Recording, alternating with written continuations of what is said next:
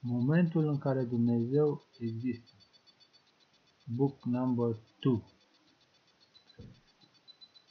Well, uh, first of all, if you are a poet, because you cannot become a poet, you cannot uh,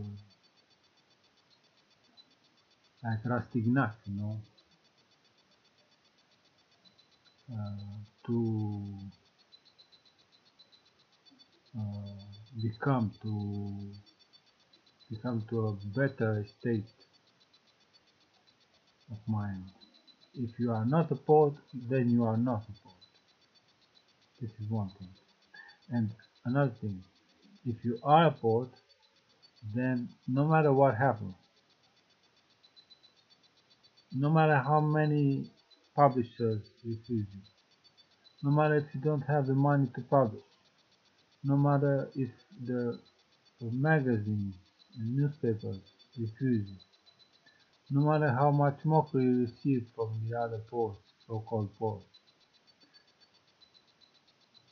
Even if you have to write your poems with pencil on paper, I'll say again, even if you have to write your poems with pen on paper all life and let nobody read them, like Emily Dickinson. If you are a poet, God will make a way after your death for those poems to be received to the public.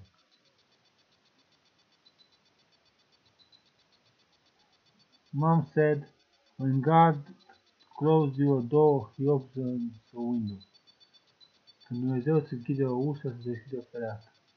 So, if your country doesn't love you, go to the stranger.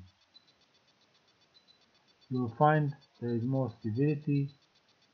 Learn a foreign language and practice it.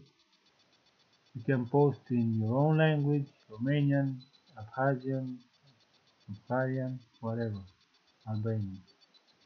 So, but just don't don't quit, you know, don't quit. And uh, momentul în care Dumnezeu există, the moment in which God exists, 15 years of poetry right here. My name is Felix Rian Constantinescu, and this is my master.